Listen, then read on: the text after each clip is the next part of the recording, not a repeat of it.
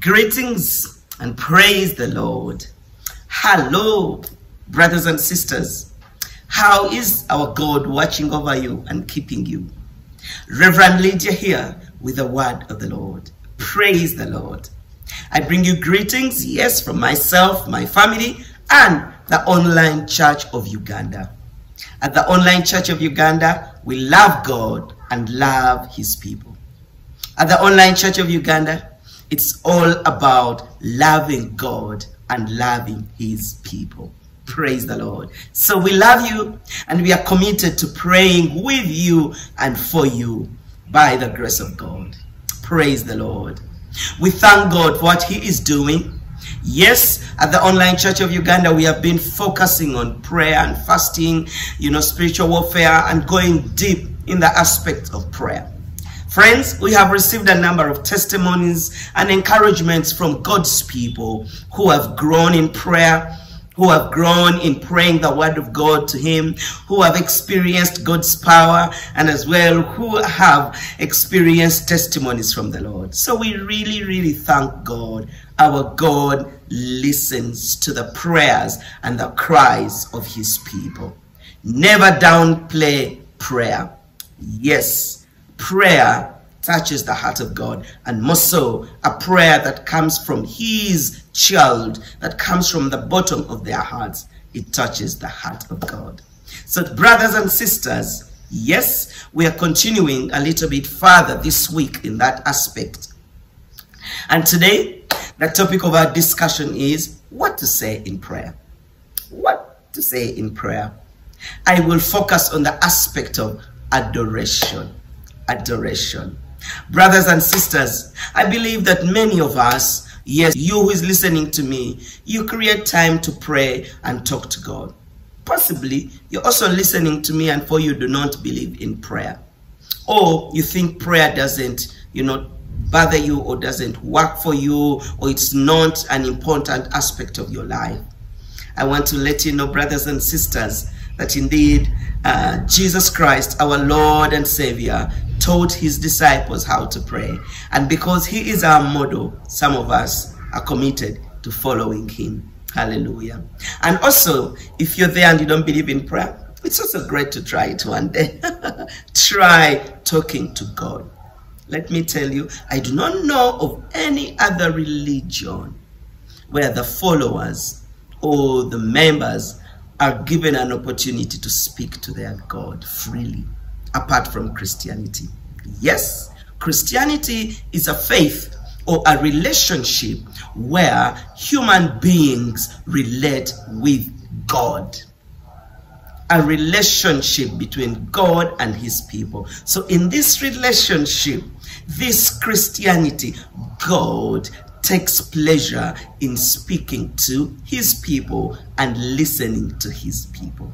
So when you do not talk to him, you deny yourself an opportunity or you cheat yourself. You don't cheat God, but you cheat yourself.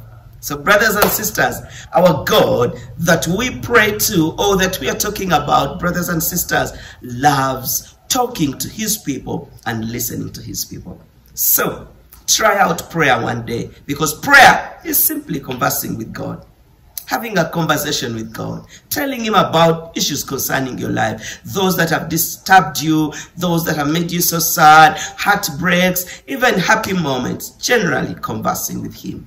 And you as well, allowing Him to speak to you because it is a two-way. So as we talk about adoration, the aspect of adoration in prayer, you know, very often we all come to pray with uh, many burdens sometimes, or we come with a list like a shopping list. And so when you come to God, you're simply mentioning this and mentioning this, and, and then you say amen and go away. But friends, when Jesus Christ taught his disciples how to pray, he structured the prayer that he gave to them. So shall we turn to God's word? Matthew chapter 6 from verse 9 to 13. What does it say? This then is how you should pray. Our Father in heaven, hallowed be your name. Your kingdom come. Your will be done on earth as it is in heaven. Give us today our daily bread, and forgive us our debts, as we also have forgiven our debtors.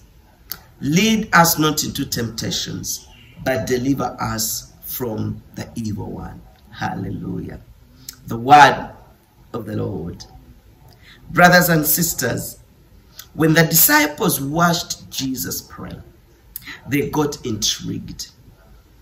I believe they watched him do this activity on a number of occasions. They watched him many times withdraw and speak to someone they could not see. They watched him spend time alone talking to his father. And so one of them came and said, Hey, teach us how to pray. And the Lord taught them. That's why we have the Lord's Prayer. Yes, the Lord's Prayer is that model that Christ has given to us. And there are great aspects in the Lord's Prayer that we can study or tear apart and go in depth so that we can indeed follow the Lord's Prayer or use the Lord's Prayer as we connect with God or talk to God. So today, I will emphasize the aspect of adoration. As I said, many times we come with a list, a shopping list, our requests are so many, our requirements are so many. But friends, when Jesus taught his disciples, he said, Come to him and say, Our Father. Approach him as your Father.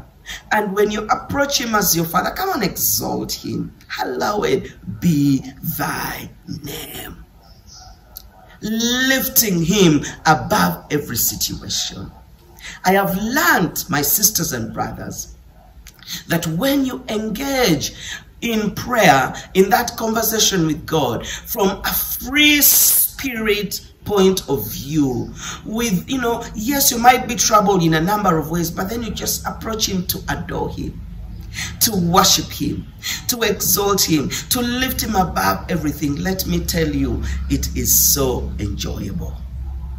When it's not about you saying, I want this, I want this, uh, and, but it's just about Him, adoring Him, bowing before Him, exalting Him, worshiping Him, brothers and sisters. When we worship God, when our prayers are about God, we touch the heart of God. I want to let you know that worship, the aspect of adoration, the aspect of exalting God above your concerns, above your worries, above your fears, touches the heart of God. And let me tell you, it is healing on its own. Yes. Praise and worship or adoration in prayer brings breakthrough in our lives. Yes. Adoration in prayer focusing on God, lifting Him above everything, exalting Him. Let me tell you, it lifts our hearts. We, by doing that, we are set free. When we focus on God in prayer, let me tell you, we draw God's attention to us. Not that God does not want to listen to us when we are making our requests. He does. When we go down in the Lord's Prayer, there's also that aspect of supplication, asking for what we need. But this beginning part of adoration is so core and central. When you study the Psalms, the psalmist had discovered that when you go through a number of Psalms, we see him, we engage with him, we encounter him telling God, despite of the tears and the cries, we see him still saying, Oh, you are the Lord of my life. How I adore you, how I exalt you. Like in Psalm 27, he says, One thing have I desired, this is what I long for, that I may dwell in your house, to gaze upon your beauty. Wow. And yet he wrote that psalm when he was facing persecution. When he was running away from his son, he wrote that psalm amidst suffering, but he put the pains aside and just focused on the goodness of the Lord. Brothers and sisters, may we learn that in our prayers. Very many times in prayer, yes, I tend to get lost in exalting God. I tend to get lost in adoring God. Because let me tell you, it is a privilege It is a privilege for us to be able to even talk with God. No one of us is deserving, but through Jesus Christ, the way was created. The gate was open that we can come before Him, before His mercy seat, and bow down.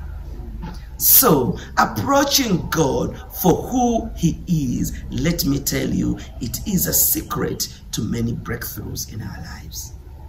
So, friends, let's approach this great God in His wholeness, in His greatness, as He is, because He is who he is Yahweh, the great I am, the Alpha and Omega, the beginning and the end, the creator of the universe, the one who formed you and me in his own image. So he deserves to be exalted. As a matter of fact, he created you and me to worship him.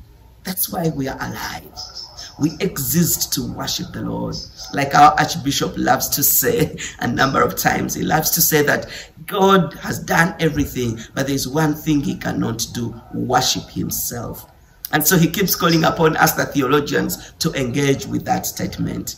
Yes, God has created you and me to worship God, to worship him. So prayer is not necessarily about me. Yes, prayer doesn't change God. Prayer changes me. But let me tell you, prayer is supposed to be focused towards God. Yes.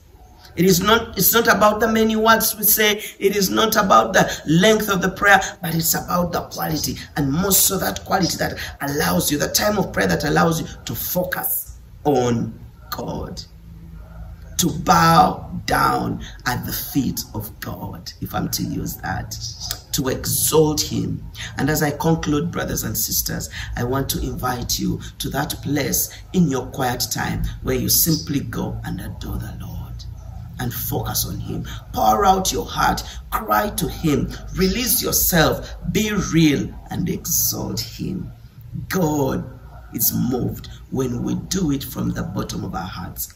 We don't want to be like those men that Jesus addressed in Matthew and said, they worship me with their lips, but their hearts are so far. So true adoration comes from our hearts. May the Lord help you and me to worship him, to adore him every time we engage with him in prayer, but from the bottom of our hearts. May the Lord bless you. Father, in the name of Jesus Christ, we thank you for reminding us that it's important to pray and one of the aspects we have to bring in prayer is adoration and exaltation. So I pray for my brothers and sisters, for myself, that every time we come to you in prayer, we shall focus on you first. That it will not be about us, it will be about you. So teach us how to worship you in spirit and in truth. Because this is the time, and you long for those who will worship you in spirit and truth. So help us. I pray for my brothers and sisters, and Lord, you may meet them at their very point of need, and that you alone will receive the glory. Brothers and sisters, may the Lord bless you. May the Lord turn his face towards you. May the Lord smile over you. And indeed, may he make you a blessing. In the name of God the Father, Son, and the Holy Spirit. Amen.